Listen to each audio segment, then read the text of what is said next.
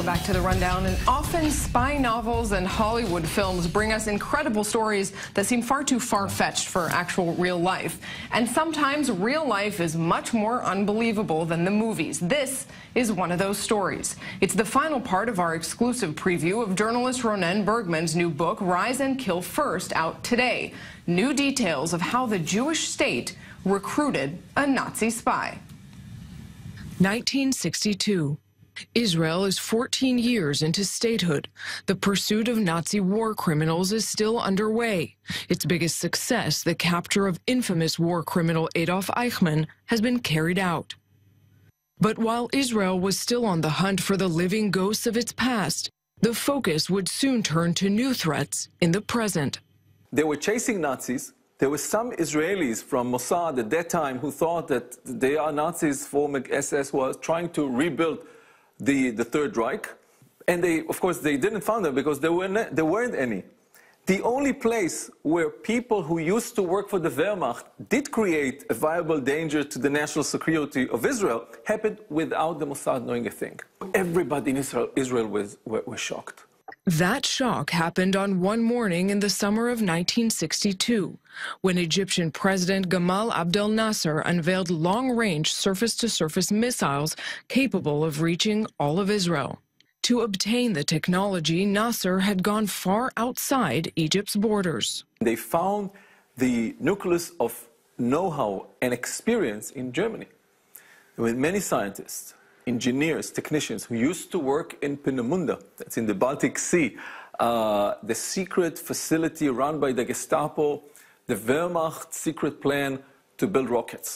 The secret weapon that Hitler thought, mistakenly, good for all of us, that he's going to win the war with. Now, these, these scientists um, didn't really have what to do after the war. Some of them were uh, recruited by American intelligence and then came back to Germany, but basically, you know, stained with being part of a Gestapo operation, they had very little that they could do in, in, in Germany. And they offered their services to Nasser. Now just imagine the combination. Nasser, who is equated to Hitler, German scientists who used to work for the original Hitler are now building uh, weapons of mass destruction for Nasser, they are testing it, they are parading it in Cairo, and Nasser is saying these missiles can destroy any target south of Beirut. Israel's first answer to the problem was to target the German minds behind the missiles. Yitzhak Shamir, then head of the Mossad's assassination unit, led the effort. The plan was to cripple the, the project by killing the scientists. So he deploys in Europe himself with everybody he could bring from the Mossad basically trying to trace down the scientists or the technicians, the engineers, and either kidnap them or kill them all.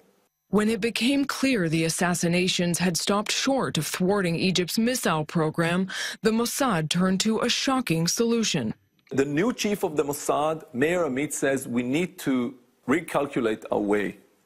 And based firstly on reliable intelligence, really understanding what the scientists are doing. And in order to do that, we need to have someone inside that group. That someone inside would end up being a once senior officer of the Nazi regime, now recruited by a senior officer in the Israeli Mossad. His name is Avraham Achituv. He is a German born who lost all of his family in the Holocaust. He runs the Bonn delegation of the Mossad. And he suggests to recruit a person who is very close to the scientists, who found shelter after the war in Spain because he fled the Nuremberg trial. He is accused of severe war crimes. He used to be known as the most dangerous person in Europe during the war by British intelligence. He was the Hitler favorite operation uh, officer for special operation, Otto Skorzeny. And Achituv says if we recruit him, through him we'll get the intelligence.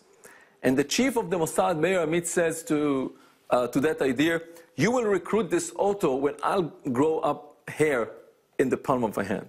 But they did it, the Mossad getting to him through his wife, the secret operation dubbed Vitamin C. The Mossad could offer Otto Skorzeny something that no one else could. Life without fear. And through a net of connections, the one Mossad guy was operative of German Bull was able to recruit Otto Skorzeny's wife, the Countess Ilsa von Finckenstein, a nephew of the uh, Treasury Secretary for Hitler. And she, in her turn, convinced Otto Skorzeny to meet with the Mossad.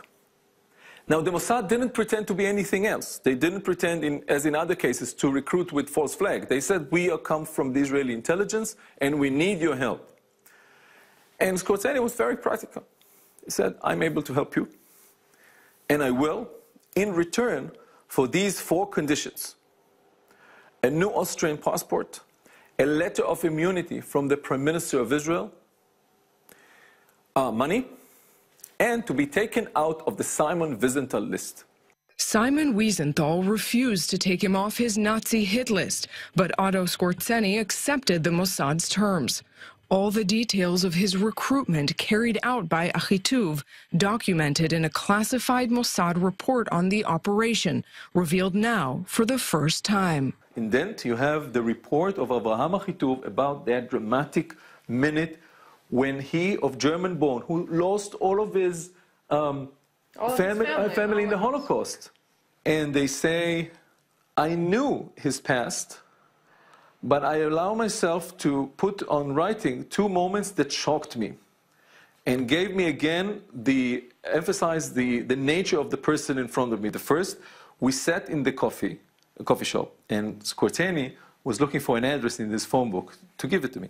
Suddenly, he took the monocle out of his pocket and stuck it into his left uh, uh, eye. And his look at that time, uh, in addition to the sizes of his body, uh, Skorzeny was huge. The scar and his aggressive eyes gave him the image of a true, perfect Nazi. And here happened the unbelievable. The chief of special operation for Hitler became the most valuable asset the Mossad recruited at that time and was able to solve the most important national threat that Israel faced during the 60s. Years later, in 1975, Skorzeny died of cancer in Spain. At his funeral, the Nazi salute given openly. A real piece of history, stranger than fiction.